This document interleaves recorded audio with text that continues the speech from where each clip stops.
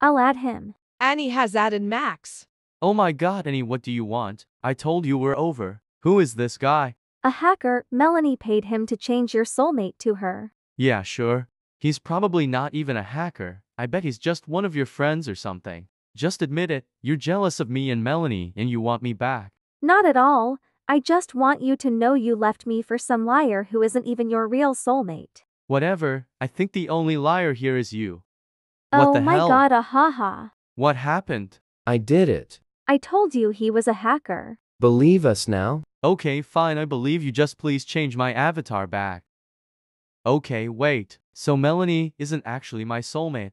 Nope. Well, then who is? Hey, Um, baby. Who do you think? What is she doing here? Wait, Jackson? Is there something you're hiding from me, Mel?